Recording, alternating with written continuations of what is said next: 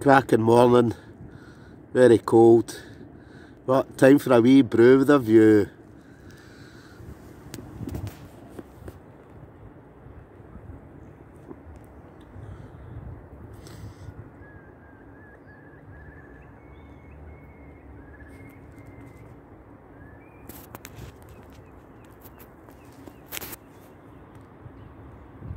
Don't know if you can make that out. But Arran's got a wee bit of snow on the top. So let's say getting very cold now, but beautiful morning.